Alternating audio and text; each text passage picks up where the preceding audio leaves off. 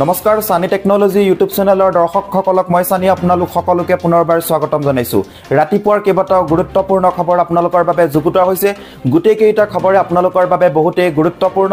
গতিকে আপোনালোকে ভিডিঅ'টো প্ৰথমৰ পৰা শেষলৈকে চাই থাকক। আজিৰ প্ৰথমটো খবৰে হৈছে নামনি অসমত জলপ্ৰলয় জাৰি কৰা হৈছে সতৰ্কবাণী। নামনি অসমত জলপ্ৰলয় জাৰি কৰা হৈছে সতৰ্কবাণী। নামনি অসমৰ জনতালৈ ডাঙৰ খবৰ। সাৱধান হওক নামনি অসমবাসী।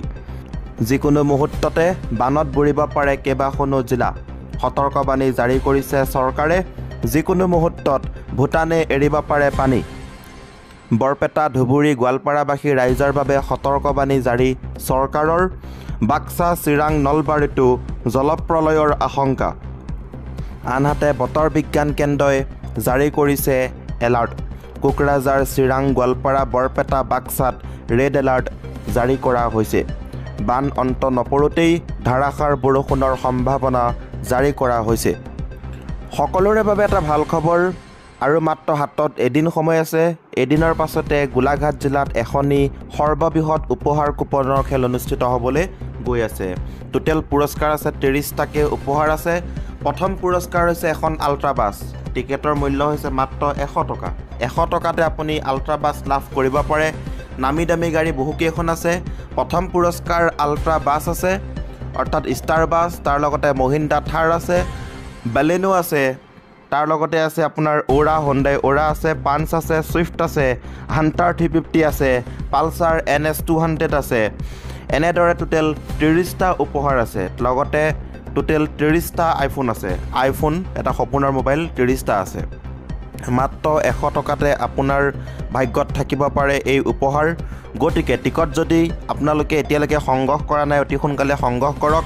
জ্ঞানদীপ শৈক্ষিক আৰ্থসামাজিক উন্নয়নৰ সাহায্যাৰ্থে এইখন উপহাৰ কুপনৰ খেল অনুষ্ঠিত কৰা হৈছে। আৰু এয়া হৈছে মহিন্দ্ৰ থাৰ আৰু এখন ষ্টাৰ বাছ এনেদৰে টোটেল নামী দামী টোটেল ত্ৰিছখন গাড়ী আছে। গতিকে হাতত মাথো এদিনো সময় আছে। সাত তাৰিখে যিহেতু খেলখন খেলোৱা হ'ব অহা সাত তাৰিখ আজি পাঁচ তাৰিখ হ'লে ছয় সাত পৰহিলৈ খেলখন খেলোৱা হ'ব। গতিকে যিসকলে টিকট সংগ্ৰহ কৰা নাই স্ক্ৰীণত যোনটো ফোন নম্বৰ দিয়া হৈছে nine seven zero' six four two double three seven two এই নম্বৰটোত হোৱাটছআপত আপুনি আপোনাৰ নামটো আপোনাৰ জিলাখনৰ নামটো আৰু হোৱাটছআপৰ প্ৰফাইল পিকচাৰতে এখন স্কেনাৰ লগাই থৈছোঁ। সেই স্কেনাৰত পে'মেণ্ট কৰি স্ক্ৰীণশ্বট দিয়াৰ লগে লগে টিকট আপুনি পাই যাব।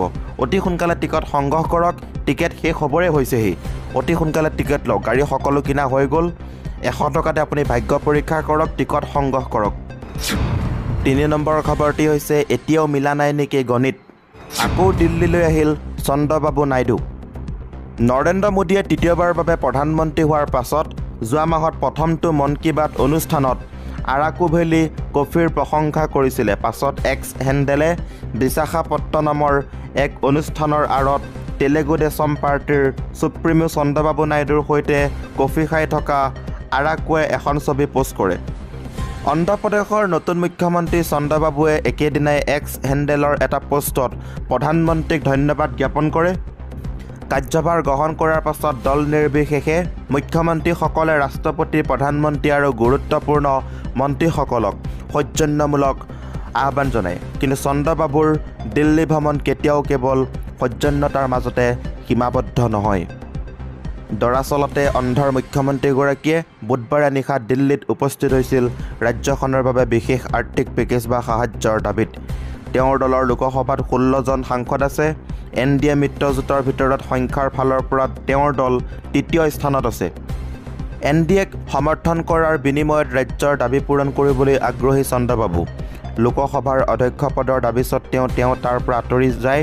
টি ডি পিৰ মাত্ৰ দুজন কেবিনেট মন্ত্ৰীয়েহে কেবিনেটত স্থান পাইছিলে। বুধবাৰে কেবিনেট কমিটিৰ কথা ঘোষণা কৰে মোদীয়ে। সেই সমিতিসমূহতো চন্দ্ৰবাবুৰ সাংসদসকলৰ বিশেষ স্থান নাছিল। চাৰি নম্বৰ খবৰটি হৈছে চৰকাৰৰ বিৰুদ্ধে দুৰ্নীতিৰ অভিযোগ উত্থাপন কৰি ৰাজস্থানৰ বিজেপি মন্ত্ৰীৰ পদত্যাগ। ৰাজস্থান বিজেপি চৰকাৰৰ মন্ত্ৰী কিৰোদীলাল মুনাৰ পদত্যাগক লৈ দেশজুৰি চৰ্চা আৰম্ভ হৈছে। পদত্যাগ পত্ৰ গ্ৰহণ নকৰি জ্যেষ্ঠ মন্ত্ৰী মুনাক শান্ত কৰিবলৈ চেষ্টা কৰিছে মুখ্যমন্ত্ৰী ভজনলাল শৰ্মাই। পদত্যাগ কৰা মন্ত্ৰীগৰাকীক মন সলনি কৰিবলৈ আৰু বুজনিৰ দায়িত্ব দিয়া হৈছে কেইবাজনো মন্ত্ৰী আৰু নেতাক। কিন্তু ইয়াতো মুনাই নিজৰ সিদ্ধান্ত সলনি কৰা নাই। দুৰ্নীতিৰ অভিযোগৰ বাহিৰেও পদত্যাগৰ আঁৰৰ দলটোক আভ্যন্তৰীণ বিবাদৰ সৃষ্টি হৈছে। ৰাজস্থানৰ নতুন মুখ্যমন্ত্ৰীক লৈ কেবিনেটৰ মাজত আৰম্ভণিৰে পৰা তৰ্ক বিতৰ্ক কিন্তু প্ৰধানমন্ত্ৰী নৰেন্দ্ৰ মোদী গৃহমন্ত্ৰী অমিত শ্বাহে প্ৰথমবাৰৰ বাবে বিধায়ক ভজনলাল শৰ্মাক মুখ্যমন্ত্ৰী আৰু মুখ্যমন্ত্ৰী কৰি তুলিলে কেইবাজনো জ্যেষ্ঠ মন্ত্ৰী নেতা ইয়াত ব্যস্ত। সূত্ৰ অনুসৰি মুনাই যোৱা সপ্তাহত মুখ্যমন্ত্ৰীলৈ পত্ৰ লিখি জয়পুৰত চৰকাৰী গৃহ নিৰ্মাণ প্ৰকল্পত প্ৰায় এক হাজাৰ কোটি টকাৰ দুৰ্নীতি সংঘটিত হোৱাৰ অভিযোগ উত্থাপন কৰিছিলে। কিন্তু চিঠিখনৰ সন্দৰ্ভত মুখ্যমন্ত্ৰীয়ে কোনো ব্যৱস্থা গ্ৰহণ নকৰিলে। কিন্তু কিৰোদীলালৰ পদত্যাগৰ আন এটা কাৰণ আছে। তেওঁ লোকসভা নিৰ্বাচনত সাতটা সমষ্টিত দলৰ নিৰ্বাচন পৰিচালনাৰ দায়িত্ব লৈছিলে। প্ৰধানমন্ত্ৰী নৰেন্দ্ৰ মোদী উপস্থিত থকা এখন ৰাজহুৱা সভাত মুনাই ঘোষণা কৰে যে বিজেপিয়ে সাতখন আসনতে জয়ী হ'ব এটাও হেৰুৱালে মন্ত্ৰণালয় এৰিব কিন্তু দলটোৱে এটাত পৰাস্ত হয়।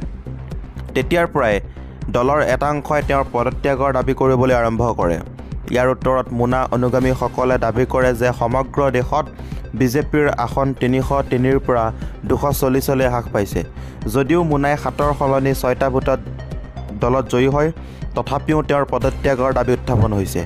যদি ইয়াৰ ন্যায্যত দাবী হয় তেন্তে প্ৰথমে প্ৰধানমন্ত্ৰী নৰেন্দ্ৰ মোদীয়ে পদত্যাগ কৰিব লাগিছিল। বৃহস্পতিবাৰে পদত্যাগ কৰাৰ পূৰ্বে মন্ত্ৰীগৰাকীয়ে এক চেণ্ডেলত লিখিছিল ৰঘুকুল ৰীতি সদা চলি জীৱন যোৱাৰ পাছত কথা নাযায় অৰ্থাৎ তেওঁ নিজৰ কথা পালন কৰিলে আৰু পদত্যাগ কৰিলে। ইয়াৰ লগতে শেহতীয়া খবৰটি হৈছে মোদী চৰকাৰে গঠন কৰিলে আঠখন কেবিনেট কমিটি গুৰুত্বপূৰ্ণ বাঢ়িছে মিত্ৰ দলৰ বিকল্প নাই। কেন্দ্ৰীয় কেবিনেট কমিটিত বিজেপিৰ মিত্ৰ দলৰ গুৰুত্ব বাঢ়িছে। বুধবাৰে মোদী চৰকাৰে নিৰাপত্তা অৰ্থনৈতিক আৰু ৰাজনৈতিক বিষয়ক আঠটা কেবিনেট কমিটি গঠন কৰে। সেই সমিতিসমূহত এন ডি এৰ মিত্ৰ দলৰ মন্ত্ৰীৰ উপস্থিতি পূৰ্বতকৈ অধিক বৃদ্ধি পাইছে।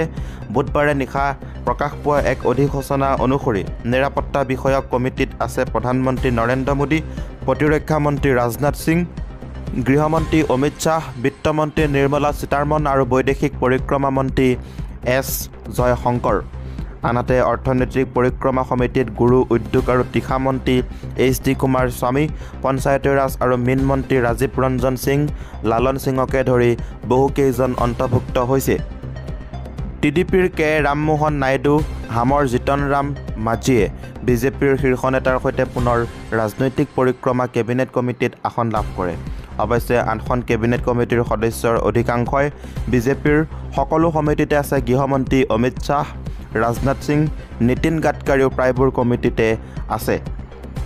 কেন্দ্ৰৰ কেবিনেট কমিটিসমূহত এন ডি এৰ সদস্যসকলৰ গুৰুত্ব বৃদ্ধি পোৱাটো যথেষ্ট উল্লেখযোগ্য। কেবিনেট কমিটিয়ে কেন্দ্ৰ ৰাজ্যৰ সম্পৰ্কত গুৰুত্বপূৰ্ণ সিদ্ধান্ত লোৱাৰ আগতে আলোচনা কৰে। আনহাতে বিত্ত সমিতিৰ কেবিনেট কমিটিয়ে সকলো বিত্তীয় সিদ্ধান্ত লোৱাৰ আগতে আলোচনা কৰে। আজিৰ এই ভিডিঅ'টোৰ মাধ্যমেৰে আপোনালোকক কেইবাটাও গুৰুত্বপূৰ্ণ খবৰ দিব চেষ্টা কৰিলোঁ।